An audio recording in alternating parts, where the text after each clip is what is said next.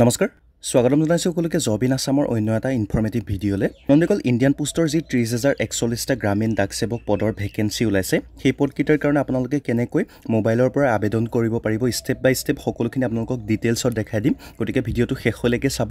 এই ভিডিঅ'টো চোৱাৰ পাছত আপোনালোকে নিজৰ আবেদনটো নিজৰ মোবাইলৰ পৰাই কৰিব পাৰিব। কিন্তু তাৰ আগতে যদি আপোনালোকে চেনেলটো ছাবস্ক্ৰাইব কৰা নাই চেনেলটো ছাবস্ক্ৰাইব কৰি ল'ব যাতে আমাৰ সকলোবিলাক ভিডিঅ'ৰ ইনফৰ্মেশ্যন আপোনালোকে প্ৰথমতেই পাব পাৰে। আপোনালোকে এই ছাইটটোৰ লিংকটো ভিডিঅ'ৰ ডেছক্ৰিপশ্যনত পাই যাব। তালৈ আপোনালোকে প্ৰথমতে ভিজিট কৰিব। ভিজিট কৰাৰ পাছত আপোনালোকে সবিশেষ চাই ল'ব। নাইবা আমাৰ আগৰ ভিডিঅ'টো এবাৰ চালেও আপোনালোকে এই পদসমূহৰ ওপৰত ডিটেইলছ জানিব পাৰিব। সেই ভিডিঅ'টো চোৱাৰ পাছত আপোনালোকে এই ভিডিঅ'টো চালে কেনেকৈ আবেদন কৰিব পাৰিব সকলোখিনি জানিব পাৰিব। এই ছাইটটোত আপোনালোকে তললৈ স্ক্ৰল কৰি গ'লে ইয়াতে এপ্লিকেশ্যন অনলাইন কৰাৰ লিংক এটা পাই যাব। যিসকল কেণ্ডিডেটে আগতে এপ্লাই কৰিছিল তেওঁলোকৰ যিটো এপ্লিকেশ্যন নাম্বাৰ আছে সেইটোৰেদি লগ ইন কৰি পেলাই আপোনালোকে কৰিব পাৰিব। অপশ্যনটোত ক্লিক কৰাৰ পাছত আপোনালোকৰ সন্মুখত এনেকৈ ইণ্ডিয়ান পোষ্টৰ যিটো অফিচিয়েল ছাইট অ'পেন হৈ যাব ইয়াতে আপোনালোকে তললৈ যাব লাগিব। ইয়াতে আপোনালোকৰ প্ৰথমতে ৰেজিষ্ট্ৰেশ্যন নাম্বাৰটো লাগিব আৰু ইয়াতে আপোনালোকৰ চাৰ্কুলটো চিলেক্ট কৰি ল'ব লাগিব। কোনটো চাৰ্কুল হয় ইয়াতে মানে ষ্টেটখন চিলেক্ট কৰিব লাগিব। চ' আছাম চিলেক্ট কৰি ল'ব। কৰি লোৱাৰ পাছত ইয়াতে আপোনালোকৰ যিটো ৰেজিষ্ট্ৰেশ্যন নাম্বাৰ সেইটো টাইপ কৰি পেলাই ছাবমিট অপশ্যনটোত ক্লিক কৰি দিয়াৰ পাছত এপ্লিকেশ্যন ফৰ্মখন খোল খাই যাব। আপোনালোকে সম্পূৰ্ণকৈ ফিল আপ কৰি এই পদকেইটাৰ কাৰণে আবেদন কৰিব পাৰিব। মোৰ যিহেতু আগতে ৰেজিষ্ট্ৰেশ্যন কৰা নাছিলে গতিকে মই নতুনকৈ কৰিম। চ' মই ৰেজিষ্ট্ৰেশ্যন প্ৰচেছখিনি আপোনালোকক দেখাই লৈছোঁ। আপোনালোকে নতুনকৈ ৰেজিষ্ট্ৰেশ্যন কৰিবলৈ হ'লে এই ছাইটটোতে আপোনালোকে ৰেজিষ্ট্ৰেশ্যনৰ যিটো লিংক আছে তাতে আপোনালোকে ক্লিক কৰিব লাগিব। আপোনালোকে ক্লিক কৰাৰ পাছত এনেকৈ যিটো ইণ্ডিয়ান পোষ্টৰ অফিচিয়েল ছাইট হৈ অ'পেন হৈ যাব ইয়াতে প্ৰথমতে আপোনালোকে নিজকে ৰেজিষ্ট্ৰেশ্যন কৰাই ল'ব লাগিব। প্ৰথমতে আপোনালোকৰ মোবাইল নাম্বাৰটো দিব লাগিব। মোবাইল নাম্বাৰটো ইয়াত টাইপ কৰাৰ পাছত কাষতে আপোনালোকে অপশ্যন পাব এইখিনিতে ভেলিডেট মোবাইল নাম্বাৰ বুলি এটা অপশ্যন আছে। তাত ক্লিক কৰিব লাগিব। তাত ক্লিক কৰাৰ পাছত আপোনালোকৰ মোবাইল নাম্বাৰলৈ এটা অ' টি পি আহিব। সেই অ' টি পিটো আপোনালোকে টাইপ কৰি পেলাই ভেৰিফাই কৰাই ল'ব লাগিব। কৰাই লোৱাৰ পাছত আপোনালোকে এইখিনি দিব লাগিব আপোনালোকৰ মেইলটো মেইলটোতো আপোনালোকে ভেৰিফাই কৰাব লাগিব গতিকে এটা ভাল মেইল দিব যাতে আপোনালোকৰ অ' টি পিটো আহে। চ' মেইলটো আপোনালোকে ইয়াত টাইপ কৰি লোৱাৰ পাছত ইয়াতেই ভেলিডেট মেইল বুলি এটা অপশ্যন আছে। আপোনালোকে দেখা পাইছে নিশ্চয়। ভেলিডেট ইমেইল বুলি এটা অপশ্যন আছে সেইটোত আপোনালোকে ক্লিক কৰিব লাগিব। ক্লিক কৰাৰ পাছত আপোনালোকৰ মেইললৈও এটা অ' টি পি যাব। সেই অ' টি পিটো আপোনালোকে টাইপ কৰি পেলাই প্ৰথমতে ভেৰিফাই কৰাই ল'ব লাগিব। এইখিনি কৰোৱাৰ পাছত আপোনালোকৰ নামটো দিব লাগিব। আপোনালোকৰ যিখন স্কুল চাৰ্টিফিকেট আছে মেট্ৰিক পাছৰ তাত যিটো নাম আছে যেনেদৰে আছে তেনেকৈ আপোনালোকে ইয়াত টাইপ কৰিব। কৰাৰ পাছত ইয়াত ফাদাৰ্ছ নেম মাদাৰ্ছ নেম বিচাৰিছে as per secondary school pass certificate so' আপোনালোকৰ মেট্ৰিকুলেশ্যন চাৰ্টিফিকেটত দেউতাৰ নাম বা মাৰ নাম যেনেকৈ আছে সেনেকৈ আপোনালোকে টাইপ কৰিব লাগিব। এইখিনি টাইপ কৰি দিয়াৰ পাছত আপোনালোকে তলত টাইপ কৰিব লাগিব আপোনালোকৰ ডেট অফ বাৰ্থটো ডেট অফ বাৰ্থটো ইয়াত টাইপ কৰি দিব। আপোনালোকৰ মেট্ৰিকুলেশ্যন চাৰ্টিফিকেটত যেনেদৰে আছে তেনেকৈ টাইপ কৰিব।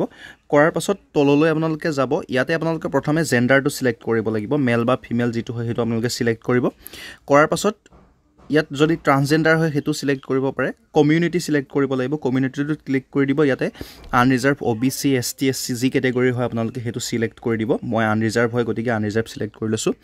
শেষত আপোনালোকৰ আঠ ন এইকেইটাত চিলেক্ট কৰিব লাগিব।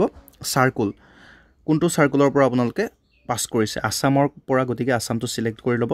কৰাৰ পাছত year of passing secondary school আপোনালোকে মেট্ৰিকুলেশ্যন কিমান চনত পাছ কৰিছিলে সেইটো চিলেক্ট কৰিব লাগিব। আপোনালোকে যোনটো চনৰ হয় সেইমতে চিলেক্ট কৰি ল'ব। কৰি লোৱাৰ পাছত ইয়াতে কাষতে আপোনালোকে এটা কেপচা দেখিছে। Captcha code. এই কেপচাটো আপোনালোকে কাষৰ যিটো ঘৰ আছে এই ঘৰটোত আপোনালোকে ফিল আপ কৰিব লাগিব। কৰি দিয়াৰ পাছত আপোনালোকে ছাবমিট অপশ্যনটোত ক্লিক কৰি দিব লাগিব। চ' যদি আপোনালোকে নিজৰ চাৰ্কুলটোৰ কথা গম নাপায় তেতিয়াহ'লে ক্লিক হিয়াৰ বুলি এটা অপশ্যন আছে ইয়াতে ন' ইয়ৰ চাৰ্কুল এইটোত আপোনালোকে ক্লিক কৰি আপোনালোকৰ চাৰ্কুলটোৰ বিষয়ে জানিব পাৰিব। কিন্তু ইয়াতে যিহেতু আমাৰ ষ্টেটখনহে চিলেক্ট কৰিব লাগে গতিকে আমাৰ নিজৰ ষ্টেটখনৰ কথাটো সকলোৱে জানেই গতিকে আছাম চিলেক্ট কৰি দিব। মই এইখিনি ফিল আপ কৰি লৈছোঁ তাৰপাছত নেক্সট ষ্টেপত আপোনালোকে কেনেদৰে কৰিব লাগিব সেইখিনি দেখাই আছোঁ। ফাৰ্ষ্ট ষ্টেপটো কমপ্লিট কৰি লোৱাৰ পাছত আপোনালোকৰ সন্মুখত দ্বিতীয় ফৰ্মখন ফিল আপ কৰিবলৈ এনেকৈ আহিব। ইয়াতে প্ৰথমতে আপোনালোকে আধাৰ নাম্বাৰটো ফিল আপ কৰিব লাগিব ইয়াতে। তাৰপাছত আপোনালোকে পাৰ্চন উইথ ডিচেবিলিটি হয় নে নহয় সেইটো চিলেক্ট কৰিব লাগিব। ইয়াত ইয়াতে য়েছ বা ন' চিলেক্ট কৰি দিব যোনটো হয় আপোনালোকৰ। মোৰ ক্ষেত্ৰত ন' হয় গতিকে ন' চিলেক্ট কৰি দিছোঁ। যদি য়েছ চিলেক্ট কৰে তেতিয়াহ'লে টাইপ অফ ডিচেবিলিটি সেইখিনি গোটেইখিনি চিলেক্ট কৰিব লাগিব। লগতে P W D sub category এটাও আছে সেইটো আপোনালোকে চিলেক্ট কৰিব লাগিব। ইয়াতে language studied in secondary school so' আপোনালোকে কোনটো লেংগুৱেজত পৰীক্ষা দিছিলে বা মেট্ৰিকুলেশ্যন পাছ কৰোঁতে চি বি এছ চিৰ নে আমাৰ ষ্টেট বৰ্ডৰ হয়? সেইটো আপোনালোকে জনাব লাগিব। চ' ইয়াতে আপোনালোকে লেংগুৱেজটো চিলেক্ট কৰি ল'ব। আমাৰ আছামৰ কাৰণে আছামিজটো চিলেক্ট কৰি ল'ব। চিলেক্ট কৰি লোৱাৰ পাছত তলতে অ'কে বুলি এটা অপশ্যন পাব ইয়াতে। এই অপশ্যন অ'কেটোত আপোনালোকে ক্লিক কৰি দিব লাগিব। কৰি দিয়াৰ পাছত আপোনালোকে তলতে হুৱেডাৰ এমপ্লয়ড অৰ নট এইটো আপোনালোকে চিলেক্ট কৰিব লাগিব। তাত আপোনালোকে ক্লিক কৰিব। ইয়াতে দুটা অপশ্যন পাব য়েছ বা ন' সেইটো আপোনালোকে চিলেক্ট কৰিব লাগিব। যদি আপুনি চাকৰি কৰি আছে তেতিয়াহ'লে য়েছ দিব। যদি চাকৰি কৰা নাই তেতিয়াহ'লে ন' দিব লাগিব ইয়াতে। আপোনালোকৰ ফটো আৰু ছিগনেচাৰ আপলোড কৰিব লাগিব। ইয়াতে ফটো আৰু ছিগনেচাৰৰ ছাইজটোৰ কথা ইয়াত উল্লেখ আছে। Two hundred into two thirty পিক্সেলৰ ভিতৰত আপোনালোকৰ হ'ব লাগিব আৰু মেক্সিমাম চাইজ ফিফটি কে বিৰ ওপৰত হ'ব নোৱাৰিব। ছিগনেচাৰটো টুৱেণ্টি কে বিৰ ওপৰত হ'ব নোৱাৰিব আৰু ইয়াতে ডাইমেনশ্যনটো উল্লেখ কৰি দিছে। গতিকে আপোনালোকে এইখিনি চাই লৈ পেলাই ফটো আৰু যিটো ছিগনেচাৰ আছে সেইটো মিলাই ল'ব চাইজটো মিলাই লোৱাৰ পাছত ইয়াত আপলোড কৰিলেই হ'ব। আপলোড কৰিবৰ কাৰণে আপোনালোকৰ চিম্পুল চুজ ফাইল বুলি যিটো অপশ্যন আছে তাত ক্লিক কৰি পেলাই আপোনালোকৰ ফটো আৰু ছিগনেচাৰটো গেলাৰীৰ পৰা চুজ কৰি দিব। কৰি দিয়াৰ পাছত ইয়াতে ছাবমিট অপশ্যনটোত ক্লিক কৰিব লাগিব। চ' মই এইখিনি কৰি লৈছোঁ। কৰি লোৱাৰ পাছত নেক্সট ষ্টেপত আপোনালোকে কি কৰিব লাগিব সেইখিনি দেখাই আছোঁ। আপোনালোকে সম্পূৰ্ণকৈ ৰেজিষ্ট্ৰেশ্যন কৰি লোৱাৰ পাছত আপোনালোকৰ সন্মুখত এনেকৈ ৰেজিষ্ট্ৰেশ্যন ডিটেইলছখিনি আহি যাব। ইয়াতে আপোনালোকে গোটেইখিনি ডিটেইলছ শুদ্ধ হৈ আছেনে নাই ভালদৰে চাই ল'ব। যদি আপোনালোকৰ ডিটেইলছখিনি ভুল হৈ আছে তেতিয়াহ'লে তললৈ গৈ আপোনালোকে ইয়াতে কেনচেল বুলি এটা অপশ্যন পাব। এই কেনচেল অপশ্যনটোত ক্লিক কৰি পুনৰ আপোনালোকে এপ্লিকেশ্যন ফৰ্মখন শুধৰাই ল'ব পাৰিব। যদি শুদ্ধ হৈ আছে আপোনালোকে ছাবমিট অপশ্যনটোত ক্লিক কৰিব লাগিব। কিন্তু তাৰ আগতে আপোনালোকে যিটো ইয়াত ঘৰ এটা আছে তাত টিক চিনটো কৰি ল'ব লাগিব। মানে আপোনালোকৰ ডিক্লেৰেশ্যনটো দিব লাগিব। চ' ডিক্লেৰেশ্যনটো আপোনালোকে ইয়াত দিব। দিয়াৰ পাছত ছাবমিট কৰি দিব। ছাবমিট কৰি দিয়াৰ পাছত অলপ সময় প্ৰচেচিং ল'ব। প্ৰচেচিং হোৱাৰ পাছত আপোনালোকৰ সন্মুখত এনেকৈ আপোনালোকৰ যিটো ৰেজিষ্ট্ৰেশ্যন নাম্বাৰ সেইটো আহি যাব। ইয়াতে আপোনালোকৰ ওপৰত মেছেজটো আহিব মেছেজতে ৰেজিষ্ট্ৰেশ্যন নাম্বাৰ সহ গোটেইখিনি আহি যাব। চ' অহাৰ পাছত আপোনালোকে ইয়াতে কণ্টিনিউ টু এপ্লাই যিটো অপশ্যন আছে তাত আপোনালোকে ক্লিক কৰিব লাগিব। ইয়াতে দেখিছে আপোনালোকে কণ্টিনিউ টু এপ্লাই তাত ক্লিক কৰি দিলে আপোনালোকৰ নেক্সট ষ্টেপলৈ গুচি যাব। আপোনালোকে যেতিয়া কণ্টিনিউ টু নেক্সট ষ্টেপত ক্লিক কৰিব তেতিয়া আপোনালোকৰ সন্মুখত পুনৰ লগ ইনৰ অপশ্যনটো আহি যাব। যিসকলে আগতে লগ ইন কৰি থৈছে তেওঁলোকে এতিয়াৰ পৰা চাওক আপোনালোকে প্ৰথমতে ৰেজিষ্ট্ৰেশ্যন নাম্বাৰটো ইয়াত দিব। দিয়াৰ পাছত আপোনালোকৰ চাৰ্কলটো চিলেক্ট কৰি ল'ব ইয়াতে আছাম চিলেক্ট কৰি ল'ব।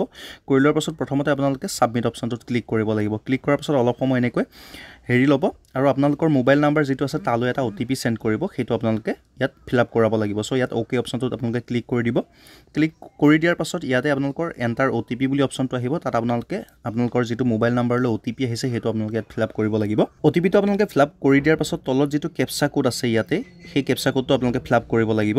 কেপচা কোডটো ফিল আপ কৰাৰ পাছত আপোনালোকে নেক্সট অপশ্যনটোত ক্লিক কৰিব লাগিব। আপোনালোকে ৰেজিষ্ট্ৰেশ্যন নাম্বাৰ আৰু চাৰ্কুল দি অ' টি পি দি যেতিয়া লগ ইন কৰিব তেতিয়া আপোনালোকৰ সন্মুখত এনেকুৱা এখন ইণ্টাৰফেচ আহিব। ইয়াতে আপোনালোকে এড্ৰেছ ডিটেইলছ দিব লাগিব। যদি আপোনালোকৰ কমিউনিকেশ্যন এড্ৰেছ আৰু পাৰ্মানেণ্ট এড্ৰেছ দুয়োটা একেই হয় তেতিয়াহ'লে আপোনালোকে যিকোনো এটা এড্ৰেছ ফিল আপ কৰি পেলাই ইয়াতে যিটো অপশ্যন আছে ছেম এজ কমিউনিকেশ্যন এড্ৰেছ এইটো টিক কৰি দিলে ইয়াতে সম্পূৰ্ণখিনি ফিল আপ হৈ যাব। গতিকে আপোনালোকে দুবাৰ ফিল আপ কৰিব নালাগে কিন্তু যিসকলৰ দুয়োটা এড্ৰেছ বেলেগ বেলেগ হয় তেওঁলোকে দুয়োটা বেলেগ বেলেগকৈ ফিল আপ কৰিব লাগিব। এইখিনি কৰি লোৱাৰ পাছত তললৈ যাব লাগিব তলতে আপোনালোকে কোৱালিফিকেশ্যনৰ ডিটেইলছখিনি দিব লাগিব। ইয়াতে প্ৰথমতে আপোনালোকৰ board of secondary education Assam এইখিনি আপোনালোকে চিলেক্ট কৰিব লাগিব। যিসকল ছেবাৰ কেণ্ডিডেট তেওঁলোকে ইয়াতে চাৰি নম্বৰ যিখন বৰ্ড আছে আপোনালোকে চাব পাৰে board of secondary education Assam H S L C six hundred marks pattern with M I L এই অপশ্যনটো চিলেক্ট কৰিব লাগিব। আৰু যিসকল চি বি এছ চিৰ হয় তেওঁলোকে central board of secondary education এইটো চিলেক্ট কৰিব লাগিব। যদি এডিশ্যনেল ছাবজেক্ট থাকে সেইমতে আপোনালোকে চিলেক্ট কৰিব। চাই ল'ব কোনখন বৰ্ড হয় আপোনালোকৰ। আপোনালোকে যেতিয়া বৰ্ডটো চিলেক্ট কৰিব ইয়াতে আপোনালোকৰ এটা অপশ্যন থাকিব চিলেক্ট ৰিজাল্ট টাইপ বুলি। ইয়াতে আপোনালোকে মাৰ্ক বুলি চিলেক্ট কৰি দিব। কৰি দিয়াৰ পাছতহে আপোনালোকৰ মাৰ্ক ভৰোৱা যিখিনি অপশ্যন আহিব সেইখিনি খোল খাব। চ' এইখিনি কৰি ল'ব। যিসকল চি বি এছ চিৰ কেণ্ডিডেট হয় তেওঁলোকৰ কাৰণে চি জি পি এ থাকে মে বি তেওঁলোকে চি জি পি এটো এই অপশ্যনটোত ফিল আপ কৰিব লাগিব যিটো ঘৰ আছে খালী হয়। তাত ফিল আপ কৰি আপোনালোকে ছেভ এণ্ড কণ্টিনিউ অপশ্যনটোত ক্লিক কৰি দিব লাগিব।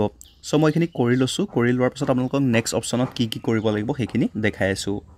আপোনালোকে গোটেইখিনি ফিল আপ কৰি ছেভ এণ্ড কণ্টিনিউ অপশ্যনটোত ক্লিক কৰাৰ পাছত এনেকৈ অলপ সময় লোডিং ল'ব। ছাইটটো মাজে সময় এনেকৈ ডাউন হৈ যায়। গতিকে আপোনালোকে পুনৰ ৰিফ্ৰেছ কৰাই দিব আৰু কণ্টিনিউ ছাবমিশ্যন কৰি দিব।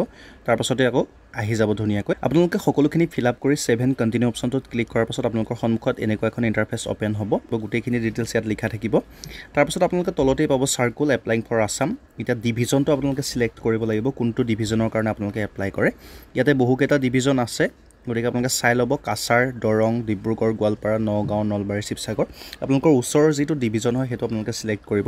মোৰ ওচৰত হয় নগাঁও গতিকে মই নগাঁও চিলেক্ট কৰিছোঁ। কৰাৰ পাছত আপোনালোকে তললৈ আহিব পাৰে।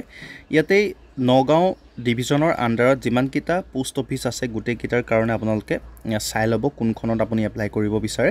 সেইমতে আপোনালোকে চাই লৈ পেলাই ইয়াতে প্ৰিফাৰেঞ্চ দিব লাগিব। চ' এইখিনি ফিল আপ কৰি ল'ব। মই ফিল আপ কৰি লৈছোঁ। তাৰপিছত আপোনালোকক নেক্সট প্ৰচেছখিনি দেখাই আছোঁ। আপোনালোকে প্ৰিফাৰেঞ্চখিনি চিলেক্ট কৰি লোৱাৰ পাছত ইয়াতে আপোনালোকে ডিক্লেৰেশ্যন দিব লাগিব। ইয়াত ইয়াতে আপোনালোকে টিক চিনটোত ক্লিক কৰি দিব। কৰি দিয়াৰ পাছত আপোনালোকে তললৈ যাব লাগিব। আপোনালোকে এইখিনি পঢ়িব বিচাৰিলে পঢ়িব পাৰে। পঢ়ি লোৱাৰ পাছত আপোনালোকে ছেভেন প্ৰচিড অপশ্যনটোত ক্লিক কৰিব লাগিব। ছেভেন প্ৰচিড অপশ্যনটোত ক্লিক কৰাৰ পাছত আপোনালোকৰ সন্মুখত এনেকৈ পপ আপ এখন আহিব। ইয়াতে ডাটা ছাবমিটেড ছাকচেছফুলি দেখাইছে। এতিয়া আপোনালোকে ফিটো পে' কৰিব লাগিব। চ' তাৰ কাৰণে আপোনালোকে অ'কে অপশ্যনটোত ক্লিক কৰিব লাগিব। ক্লিক কৰাৰ পাছত আপোনালোকৰ সন্মুখত পুনৰ এনেকৈ আহিব। Fee one paid will not be refunded so' এবাৰ যদি পে' কৰে তেতিয়াহ'লে দ্বিতীয়বাৰ এইটো ৰিফাণ্ড নাপায়। এইখন পপ আপ আহিব। মেক চিয়'ৰ কৰিবৰ কাৰণে আপোনালোকে অ'কে অপশ্যনটোত ক্লিক কৰিব লাগিব। কৰি লোৱাৰ পাছত আপোনালোকৰ সন্মুখত এনেকৈ মেক পে'মেণ্টৰ অপশ্যনটো আহিব। ইয়াতে আপোনালোকে যেনেকৈ পে'মেণ্ট কৰিব বিচাৰে পে'মেণ্ট কৰিব পাৰে। এশ টকা পে'মেণ্ট কৰিব লাগিব। গতিকে আপোনালোকে পে'মেণ্টটো কৰি ল'ব। কৰি লোৱাৰ পাছত আপোনালোকৰ একনলেজমেণ্টখন আহি যাব ধুনীয়াকৈ। একনলেজমেণ্টখন ৰাখি থ'ব। আৰু ইয়াৰ এই পদকেইটাৰ কাৰণে কোনো ধৰণৰ ৰিটেন এক্সামিনেশ্যন নহয়। কেৱল আপোনালোকৰ মেৰিটৰ ওপৰত বেছ কৰি চিলেক্ট কৰা যাব। যিসকলে ছিক্সটি পাৰ্চেণ্টেজো পাইছে তেওঁলোককো মই আবেদন কৰিবলৈ অনুৰোধ জনাম। কাৰণ আগতে এবাৰ মেৰিট লিষ্ট মাৰে। যিসকলে নাইণ্টি এবভ পাইছিলে তেওঁলোক চিলেক্ট হৈ যায়। কিন্তু যোৱা বছৰৰ পৰা মানে ইয়াৰ আগৰ যিমানবিলাক এপ্লাই হৈছিলে তাৰ পৰা তিনিবাৰকৈ মেৰিট লিষ্ট মাৰিছে। গতিকে পোৱাৰ চান্সটো বহুতখিনি বাঢ়ি যায়। গতিকে যিসকলে ছিক্সটি পাৰ্চেণ্টেজো পাইছে তেওঁলোকেও এটা চান্স ল'ব পাৰে। এশ টকাৰ কাৰণে ৰখি নাথাকিব আপোনালোকে এপ্লাইটো কৰি দিয়ক। চ' মই গোটেইখিনি প্ৰচেছ আপোনালোকক দেখাই দিলোঁ ষ্টেপ বাই ষ্টেপ মোবাইলতে আপোনালোকে এনেকৈ এই পদকেইটাৰ কাৰণে আবেদন কৰিব পাৰিব। চ' ভিডিঅ'টো কেনেকুৱা পালে কমেণ্ট বক্সত জনাব। আৰু যদি কিবা ডাউট থাকিল মোক কমেণ্টত জনাবলৈ নাপাহৰিব। লগতে যদি চেনেলটো ছাবস্ক্ৰাইব কৰা নাই তেনেহ'লে চেনেলটো ছাবস্ক্ৰাইব কৰি ল'ব। এনেকুৱা ধৰণৰ ভিডিঅ'সমূহ পাই থাকিবৰ কাৰণে।